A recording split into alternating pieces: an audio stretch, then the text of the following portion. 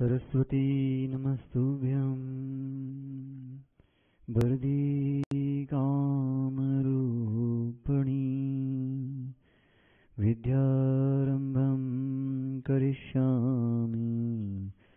सिद्धिर्भवतु मे सदा। नमो नमो सिद्धाडं पंच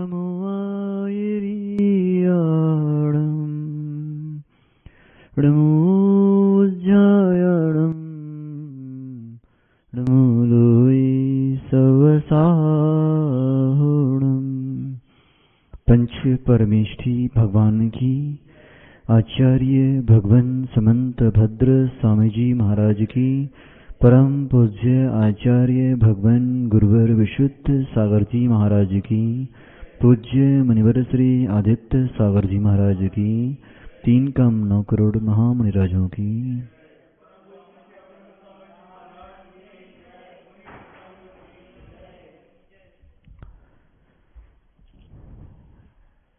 एक सम्यक दृष्टि सावक, जो कि पंच अणु मृतों से युक्त होता है, उसमें भी जिसकी श्रद्धा भगवान के वचनों पर अगाढ़ होती है, उसके मन में निरंतर यही धारा अजस रूप से चलती रहती है कि नान्यथा वादिनोजना नान्यथा मुनि भाषणम। प्रभु के वचन अन्यथा नहीं होते और मुनि के वचन भी अन्यथा नहीं होते। ऐसा सम्यदृष्टि श्रावक जब ऐसे श्रद्धान के साथ जीवन जीता है तो उसकी सम्यक की भूमिका बराबर बनी रहती है। आप सभी, यहाँ पर श्रावक की जो वास्तविक स्वरूप है, उसकी व्याख्या सुन रहे हैं। उसमें भी अब हम अचौर व्रत में जो अतिचार लगते हैं, उसका व्याख्यान प्रारंभ कर रहे हैं। तो पहला चौर प्रयोग। चोरी के लिए प्रयोग करना किसी का चित्त। माना कि मोहित तुम्हारे विचार में चोरी करना नहीं आ रहा, लेकिन चोरी के जो बातें होती हैं, समझाने के लिए, किसी को समझा रहे हो कि ऐसे चोरी करना तो आपने क्या किया? चोरी करने या लूटपाट करने का, डाका डालने आदि का, तौर तरीका बतला दिया। कि यहाँ से जाओ, ये खिड़की तोड़ना और यहाँ से माल मिलेगा। तुम चोरी नहीं कर रहे, लेकिन चोरी के प्रयोगों को बतला रहे हो।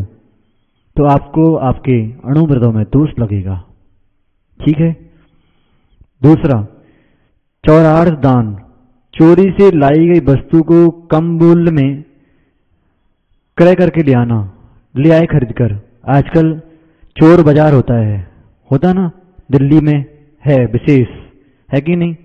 या आपको पता है, कोई सामग्री बाज़ार में हज़ार रुपए की बिच रही है और आपको पता है उसका मूल्य कम से कम पाँच हज़ार रुपए है, समझ लेना।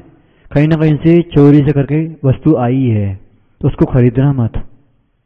क्यों? क्योंकि आपको पता है ना कि वो चोरी से लेकर आया है। तो क्या करना? लेना मत। यदि लेते हो तो चौर व्रत में दोष लगेगा। अचौर व्रत में अतिचार आएगा। ठीक है? दूसरा, तीसरा, विलोप, राजा की आज्ञा का उल्लंघन करना। माना कि शासन में आदेश है कि अशोक भैया यहाँ दुकानें कम बंद रहती हैं। छिंदवाड़ा में। हाँ? नहीं, दुकान कौन से दिन में बंद रहती हैं? शुक्रवार को बंद रहती हैं। आज्ञा है। छिंदवाड़ा छिंदवाड़ा के शासन की, यहाँ जो भी चलता है। तो आज्ञा है, यदि आप उसके विरुद्ध दुकान खोल रहे हो तो आपको भी ये अचौर व्रत में दोष लग रहा है। क्यों? क्योंकि राज्य की आज्ञा नहीं है। ठीक है, उसकी आज्ञा का पालन भले ना करो, लेकिन भारत का शासन आपको दंड दे अथवा ना दे लेकिन जिन शासन दंड को छोड़ता नहीं है, वो दंड देगा ही देगा। भारत के शासन में जब जाते हो तो वहाँ पर काली पट्टी बंध के तराजू टंगा रहता है और ऊपर नीचे रहता है। लेकिन जिन शासन का जो तराजू है, वो अंधा नहीं है। वो बराबर रहता है। जैसा करोगे, वैसा ही मिलेगा। वो अंधा नहीं है, सब कुछ देख रहा है। जिनके जैसे ही परिणाम है, वैसा उनको मिलने वाला है। ये मत सोचना कि हम छुप कर कोई काम कर लें तो वो आपका दब जाएगा। नहीं। आपने सोचा कोई नहीं देख रहा, लेकिन कोई ना कोई तो देखता है। कौन देखता है, माँ? भगवान नहीं देखते। आप स्वयं तो देख ही रहे हो। भगवान देखते नहीं है। माँ, कौन देखता है? हम कह रहे भगवान नहीं देखते। कौन देखता है फिर? भगवान नहीं देखते। देखो, अभी मुंडी नहीं लेगी ऐसी। क्यों? अभी महाराज घुमा देंगे। महाराज घुमाएँगे नहीं, महाराज सही बात बताएँगे। क्यों? भगवान देखते नहीं है। भगवान के ज्ञान में छलकता है। ऐसे देखने लग जाएँगे तो उनकी इंद्रिया मानना पड़ेंगी। भगवान कैसे हैं? इंद्रिया अतीत हैं। उनके ज्ञान में झलकता है। लेकिन समझ में आया? तो दो लोग तो आपकी नियत हैं। कर्म नहीं देखता। या अभी आवाज़ आई थी यहाँ से, कर्म देखता है। कर्म देखता नहीं है। कर्म आपको बनता है। कर्म उदय में आता है। तो जैसा काम करोगे, आज्ञा का उल्लंघन मत करना। अन्यथा अचौर व्रत में दोष लगेगा। तीसरा, सदृश सम्मिश्र। मूल्यवान असली वस्तु में सदस नकली वस्तु मिला दी और बेच के आ गए। क्या चलता है बाज़ार में? काली मिर्ची खरीदो, उसमें क्या मिलेगा? पपीते के बीज मिल जाएँगे। होता कि नहीं? हाँ? होता ना? और कुछ करते कि नहीं? माँ लोग बहुत करती हैं, सुनो अभी। किसी के चक्की ना हो, चक्की ना हो तो क्या होगा? बोले, हमारे गेहूँ ले लो और आटा, उसका बदले हमको दे देना। क्या होता है? जब गेहूँ लाएँगे तो ऊपर से ऐसा भर कर लाएँगी। लेकिन जब आटा ले गई वापस आएँगी तो उसको दबा दबा के लेकर आएँगी। कम वस्तु दी है और अधिक लेकर आ रहे हो। आपको अचौर में दोष लग रहा है। और ज़्यादा दिए कम लेकर आ रहे हो, तब भी दोष लगेगा। क्यों? लगेगा कहीं लगेगा। तो इसका ध्यान रखा जाए। कोई वस्तु खरीद भी रहे हो तो ध्यान रखना। कहीं वो वस्तु या दे रहे हो किसी को तो असली वस्तु में नकली मिला के मत देना। अब यहाँ तो ठीक ही है। जो परिणाम आपके वास्तव में शुद्ध होना चाहिए, उनमें आपने नकली परिणाम मिला लिए। भगवान के दरबार में आ रहे हो। परिणाम कैसे होना चाहिए माँ? शुद्ध परिणाम होना चाहिए, लेकिन अंदर विचार का चल रहा है। अरे हम जाएँगे तो कम से कम लोग पहचानने तो लग जाएँगे हमको। नकली परिणाम है। नकली परिणाम है। आपके परिणामों में चोरी चल रही है। बोलो, सुबह शाम तीन टाइम मंदिर जा सकते कि नहीं? जा सकते? मंदिर खुला रहता है। नहीं भी खुला तो भगवान को तो पता रहता है कि भक्त आया है। होता कि नहीं? बोलो, फिर भी वो परिणाम नहीं होते। होते कि नहीं? अशोक भैया, कितने बेटे हैं? दो बेटे हैं, लेकिन दोनों के साथ एक सा व्यवहार नहीं है, चोरी करते हो, अपने बच्चों के साथ। भोजन, अजी इष्ट वस्तु आई किसी बच्चे की तो वो उसको तुरंत दे देते हो, लेकिन बड़े वाले को नहीं देते। परिणाम क्या चल रहे हैं? जबकि दोनों बेटे समान हैं, दोनों की आत्माएँ समान हैं, है कि नहीं? दोनों में ज्ञान दर्शन है कि नहीं बराबर? फिर भी दोनों के साथ एक सा व्यवहार नहीं कर रहे हो, आपने उनके साथ चोरी की है। परिणामों पर ले जाओ। ये तो सामान्य चीज़ है, लेकिन सबसे ज़्यादा हम अपने परिणामों की चोरी करते हैं। जो शुद्ध परिणाम होना चाहिए, विशुद्ध परिणाम होना चाहिए, मंदिर में आकर के क्या करती माँ? पूजा करते करते चोरी कर लेते हो। वस्तु की चोरी नहीं करते। वो तो मायाचारी अलग है माँ। हम चोरी की कर रहे हैं, आपके परिणामों की चोरी की बात कर रहे हैं। आपने परिणामों की चोरी की कि नहीं? जो परिणाम होना चाहिए, वो नहीं किए। तो जो शुद्ध परिणाम लेकर आए थे, उसमें क्या मिला? अशुद्ध परिणाम मिला दिए। मतलब क्या किया? आपने अपने परिणामों से चोरी कर ली। उसकी बात कर रहे हैं। इसलिए सदस सम्मिश्र मत करो। मिस्र में मिस्र में आज तक जीते आए हो। बोलो, अभी जो अवस्था है, वो मिस्र की अवस्था ही है। आत्मा और शरीर भिन्न है कि नहीं? तो मिश्र परिणाम किए हैं आज तक। इसलिए आज तक हम मिस्र में ही रहे। और विश्व में रहे इसलिए क्योंकि मिश्र परिणाम होते रहे। लगाओ लगाओ। बोलो, माँ, मिश्र परिणाम होते कि नहीं? होते ना? तो अब उन मिश्र परिणामों को एक सदस्य करो। बड़ी बहू है तो अच्छा हमारी खूब सेवा करती है। खूब प्यार मिलेगा उसको। छोटी बहू, एक काम ना करे तो उसको मुँह चढ़ा कर निकल जाओगी साइड से। निकलती कि नहीं? जबकि यदि जीव द्रव्य देखने लग जाओ उसको तो एक सदस्य परिणाम होने लग जाएँगे। होते कि नहीं? एक बार चिंतन करना इस विषय पर, कि जब दोनों बहुएँ सामने हो, या दो बेटे सामने हो, या आपकी जेठानी देवरानी सामने हो, एक सदस्य परिणाम लाने के लिए केवल एक ही सूत्र अपनाना कि ये जीव दब्र है, भगवान आत्मा है, भविष्य में बनने वाला भगवान है। हम अभी जड़ भगवान को पूजने जाते हैं, जो बन चुके भगवान है, ये तो बनने वाला है। फिर उसके प्रति द्वेष भाव नहीं आएगा। क्यों? क्योंकि भगवान को कोई गाली नहीं देता, भगवान से कोई द्वेष नहीं करता। भगवान तो हमारे लिए पूज्य होते हैं। जैसे ही वो दृष्टि सामने लाओगे तो क्या करना? आपके परिणाम अपने आप स्वच्छ हो जाएँगे। आज करके देखना। जैसे मिली तो क्या कहना? जय जिनेन्द्र। जिनसे द्वेष करते थे, उनसे क्या कहना?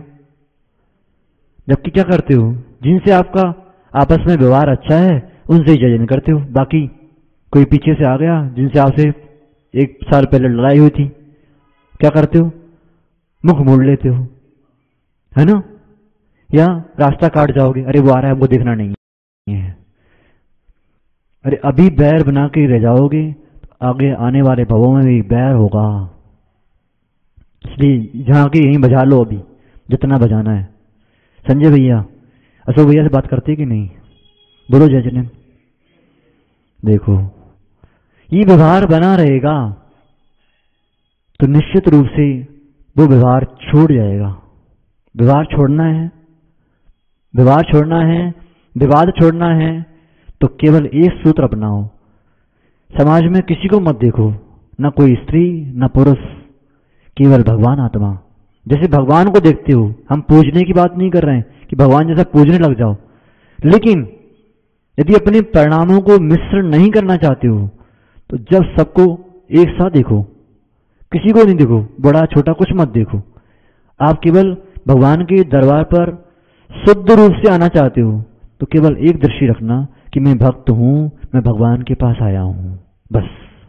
और किसी से मुझे कोई मतलब नहीं है। कोई जय जनन करता हो तो जय जनन करना, अन्यथा ओम शांति। ठीक है? तो सम्मिश्र परिणाम नहीं आना चाहिए।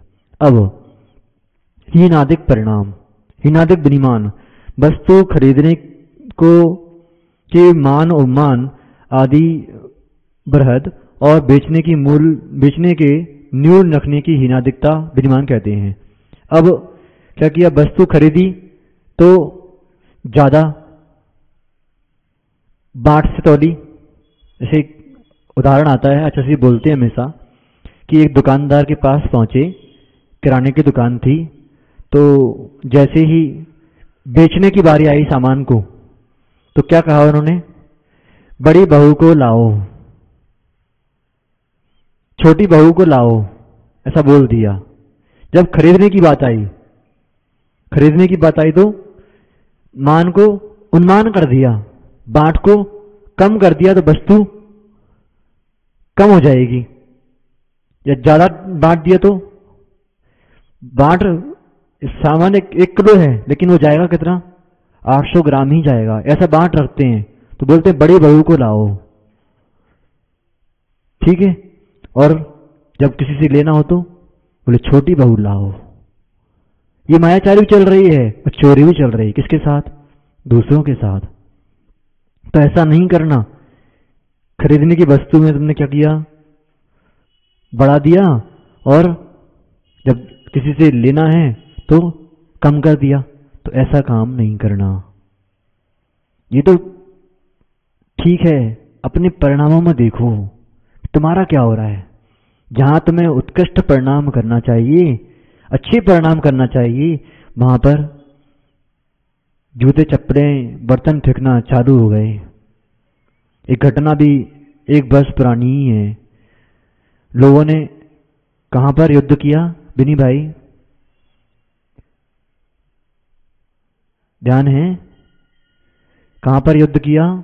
मंदिर में बैठकर ही लोग चप्पल जूते चलाना चालू कर दिए, गाली गलोच करना चालू कर दिए। जहाँ पर उत्कृष्ट परिणाम होना चाहिए, वहाँ पर आपने निम्न परिणाम किए। आपने अपने परिणामों के साथ चोरी की है। मत करना। कोई कितना भी कुछ कह दे माँ। मंदिर में आकर के तुम ऐसी हो, तुम ऐसे हो सो भैया। कोषाध्यक्ष जी, आपने पैसे दबा लिए ऐसा बोल दे कोई तो उद्वेलित मत हो जाना, क्योंकि आपको तो सत्य पता है ना कि हम कैसे हैं। है ना? क्योंकि प्रतिक्रिया देने से प्रतिष्ठा गिरती है नियम है। प्रतिक्रिया मत करो। कोई क्रिया कर रहा है, प्रतिक्रिया मत देना। लोग कितना भी कुछ कह दें आपके बारे में, लेकिन प्रतिक्रिया मत करना। आपको तो पता है ना कि आप सत्य हो। बोलो माँ, पता है कि नहीं कि आप सत्य हो? फिर प्रतिक्रिया क्यों देना? हम सत्य हैं तो हम कभी झुकते नहीं हैं। यदि हम सत्य नहीं हैं तो हम अपनी बात को कह देते हैं कि हमने गलत किया है। और सबसे बढ़िया तरीका है, यदि आपसे गलती हो जाए तो गलती स्वीकार कर लेना। तो आप बच जाओगे। और छुपा के रखा फिर कहीं के नहीं बचोगे। इसलिए इसका ध्यान रखें। किसका? हीनादिक द्रिमान। व्यवहार बेचने वाली वस्तु में नहीं। वो तो ठीक है, ये तो अतिचार अपने दोस्तों में लग रहे हैं। कहीं पर? व्रत में व्रत लग रहे हैं। लेकिन अपने परिणामों में जाओगे तो समझ में आएगा, ये व्रत देखना। ऐसे पारण नहीं होता चोर व्रत। बहुत कठिन है। मोहित करते कि नहीं चोरी? सक्षम? कर रहे कि नहीं कर रहे चोरी? प्रतिदिन करते हो। इस अवस्था में तो कितनी उम्र हो गई। आचार्य तो दीक्षित हो गए थे। पंद्रह साल की उम्र में मनी दीक्षा हो गई थी। हाँ सत्रह साल में। कौन? आचार्य विद्यासागर की बात कर रहे हैं। कितने साल में हुए दीक्षित? बोलो। तरुण सागर जी कितने साल में दीक्षित हुए? बारह तेरह साल में दीक्षित हुए कि नहीं? ये परिणाम अभी बना लो। आचार्य ने दीक्षा ली सत्रह वर्ष की उम्र में, ली कि नहीं? तो अभी तो समय है। चोरी मत करो। मत करो, सक्षम हो। व्रत धारण करने में। बिनी लेट हो गए। पाँच साल पहले ले लेते तो और अच्छा रहता। हम तो कह दस साल पहले और ले लेते। आज आचार बने होते बेटा। कहाँ हो गए? कहाँ पहुँच गए? हमने भी बहुत दुख हुआ जब हमने देखा कि हमसे छोटे मुनियों ने दीक्षा ले ली है। हमने कहा, बहुत लेट हो गए। कम से कम जिन शासन की प्रभावना तो करते, दस साल और पहले करते तो। लेकिन अब वो बात मन में नहीं आती। क्यों? हम अच्छे हैं। हम जिन शासन के लिए जी तो रहे हैं। अपने लिए कोई नहीं जीता। दिगंबर मुनि जो अपने लिए जी रहे हैं, वे मुनि नहीं है। ध्यान रखना बेनी। जो अपने लिए जी रहा है, वो मुनि नहीं है। वो जिन शासन के लिए जी रहा है, वही मुनि है। इसका ध्यान रखना। आप किसी और के नहीं हो, आप पूरी समाज के हो। इसलिए समाज को तोड़ना नहीं बेटा। जिन शासन के बन के रहना चाहते हो, समाज आपकी ओर से एक होना चाहिए, ना कि खंड खंड नहीं तो आपने क्या किया? आपने समाज के साथ चोरी की है। देखो जी ये विषय इसमें आए घटित हो रहा है। ही ना दिक में लगाओ कि आपने भक्तों को तोड़ दिया। जिन शासन के भक्तों को तोड़ दिया, कोई इसी में पहुँच गया, कोई इसमें पहुँच गया। गलत है। चोरी मत करो। साधु होकर के, महाव्रती होकर के आप अचौर व्रत का पालन नहीं कर रहे। जहाँ परिणाम अच्छे होना चाहिए, भक्तों के वहाँ बिगड़ जाते हैं। उनको देख करके, दिगंबर मुनियों को देख करके ये भाव आता है कि ये उनके संग के हैं, इनके ये चौका नहीं लगाना चाहिए। क्या किया? बोलो माँ, सुनने में आ रहा कि नहीं? ऐसा होता कि नहीं? हो रहा है कि नहीं? तो उन लोगों ने चोरी कराई कि नहीं? स्वयं ने चोरी भी की और दूसरों के परिणामों की चोरी भी करवा दी। तो क्या हुआ? अब आ रहा है सुनने। अशोक भैया, बोलो, ऐसा होता कि नहीं? हो रहा है ना? तो आप ऐसी बातों में मत आ जाना। कोई कहे कि भैया, फलाने संघ के लोग आए चौका मत लगाना। बोले, महाराज जी, ये नियम होता है क्या? भैया जी, ये नियम होता है क्या? बोल देना। बोले, आप बैठो, आपको अच्छे से कराएँगे, लेकिन ये मत बोलो, किसी के लिए कराना। बोले, हमारे परिणामों की चोरी मत करो। जैसे ये बात आती है ना तो मन में कैसा लगता है? अभी बताओ, परिणाम कैसे हो रहा है? अच्छा लगा क्या? ऐसा हो जा, होना चाहिए, हम कह दें कि भाई, आदर्श सागर जी को चौकी में हार देने मत जाना। तो जाओगे कि नहीं जाओगे? माना क्या दिया और बात मान ली आपने? तो बेचारे उस साधु के परिणाम कैसे होंगे? कि यार कैसे लोग हैं? एक से भेद धारण किए हैं, लेकिन भाव एक से है नहीं। फिर क्या मतलब का? तो चोरी मत कराना। बहुत दुख होता है तब ये बात सुनने में आती है। आचार्य की बात है। एक बार कर्नाटक की एक साधु ने नियम दिला दिया कि फलाने साधु आए तो उनको चौका मत लगाना। तो आचार्य पहुँच गए उस शहर में। आचार्य बैठे हैं। बोले, पूरे गाँव में सूतक लगी महाराज। चौका यहाँ पर नहीं है। आप जाइए। अच्छा सी दो किलोमीटर आगे एक क्षेत्र पर चले गए। वहाँ व्यवस्था थी नहीं। वहाँ से फिर लौट कर आ गए। दोपहर में बच गए ग्यारह। चौका था नहीं। बोले गाँव वाले बोले, चौका नहीं है महाराज। यहाँ चौका नहीं लगा।